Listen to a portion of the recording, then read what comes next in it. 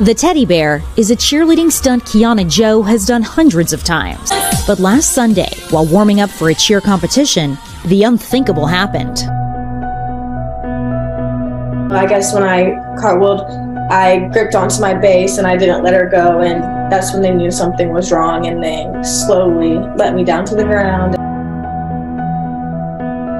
And I just kind of ripped her uniform up over her head and threw the pads on her. And when we, you know, you hit the button and it says shock advised.